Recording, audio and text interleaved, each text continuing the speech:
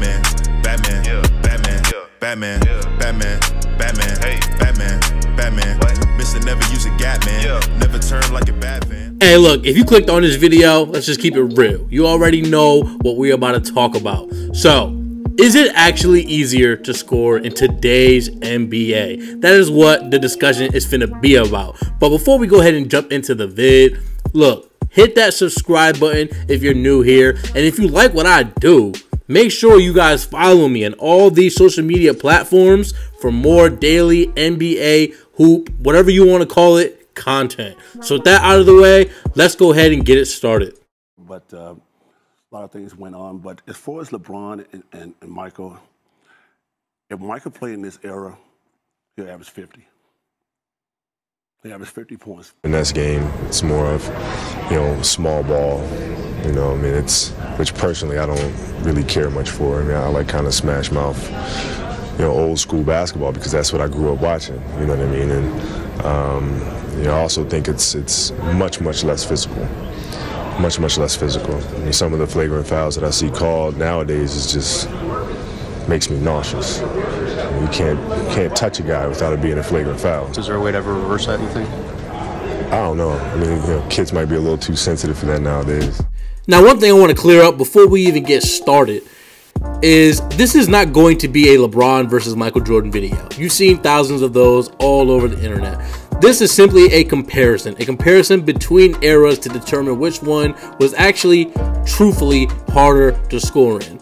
Now, you just heard two players who speak, and they spoke about the eras that they played in. Dennis Rodman played in the 90s, and he said, hey, it was harder to score back then. If Michael played today, he would average 50. Now, obviously, that's an extreme exaggeration. I don't think it's possible for anybody to average 50 ever, except Wilt, who did it in the 60s. But to say that anybody would average 50 is just ridiculous. But his point has to be taken, and that is it is easier to score in today's league. Then you listen to Kobe Bean Bryant, rest his soul, who then spoke and said, Look, today is very soft, it's all finesse, and there's no physicality to the game of basketball. Now, what could he mean by that exactly? Well, the rules in today are just simply different than when Kobe was coming up or when Dennis Rodman played. In today's league, it's more geared around the offense. It's it gives the offensive player the edge. And that is just for one reason and one reason only. To attract more casual basketball fans because at the end of the day, a casual fan wants to see offense. They want to see dunks. They want to see threes. They want to see high scoring, fast paced basketball. No casual fan wants to see defense. That is just the cold, hard truth. So when you're a hardcore super NBA fan, that is actually bad because we do like to see defense. We like to see things be difficult, but we are vastly outnumbered by casuals. And because of these things, yes, it is indeed easier to score in today's league than it was in, let's say, the early 2000s or the 90s when Michael played, when Dennis played, and when Kobe Bryant played. It was and is easier to score in today's league. Now, why is that? Let's take a look at a few things and a few rule changes. Now, first up, in the year 2004, the NBA took away the hand check. And if you would take a look on the screen, I have it right there for you. Following the 2003 2004 NBA season, the NBA banned hand checking of perimeter players. The league hoped that cracking down on pushing or grabbing will give the game's offensive players more room, increase scoring, and create more fan friendly aesthetics. Now, why would they want to do that? They would do that simply to create and more create more interest and more, I guess you can call appealing basketball to casual NBA fans. So that is the first rule or difference between the past eras and today's game. That was simply implemented just to increase scoring. Now, two seasons prior to that rule being implemented, the NBA also added another rule, and this rule is known as defensive three seconds. Now, what is this rule and why was it implemented? Well, defensive three seconds states that no defensive player can stand within the colored painted area for longer than three seconds. Surprise, like, come on, that was that was obvious. And why would they do that?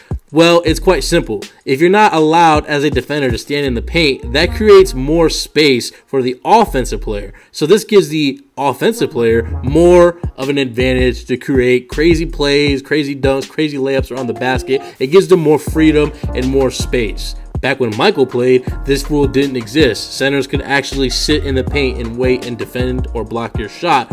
But since they have only three seconds to stand in the paint, they can't really do that as effectively as they once were. Now, next up, let's go ahead and talk about double teams.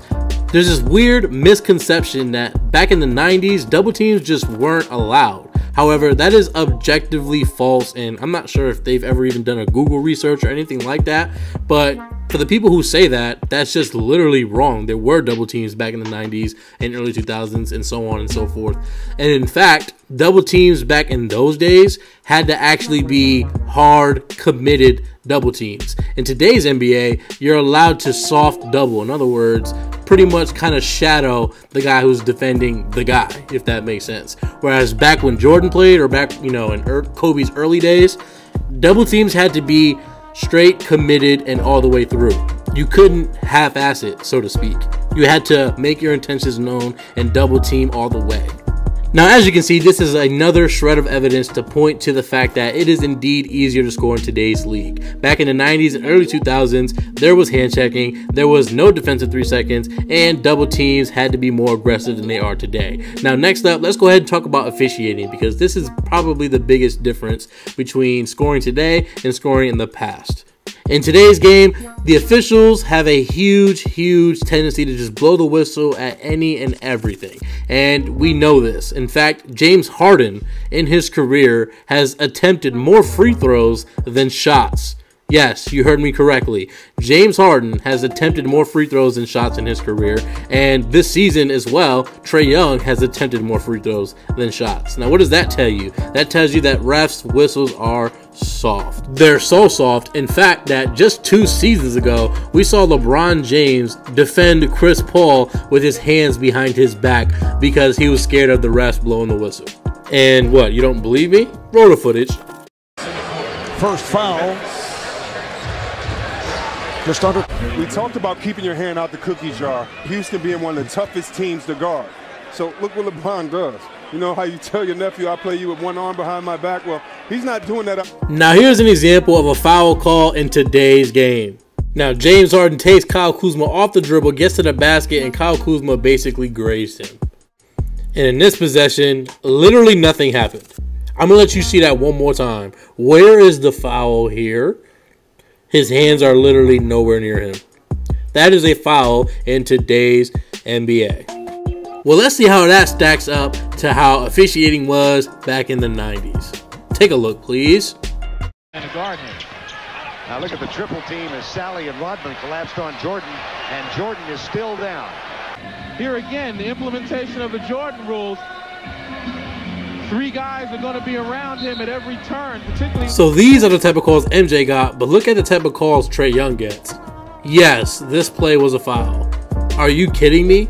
This goes to show the supreme, or should I say, extreme difference in officiating between the two eras of basketball. So I just need somebody to explain to me how in the world is it harder to score in today's game? Please.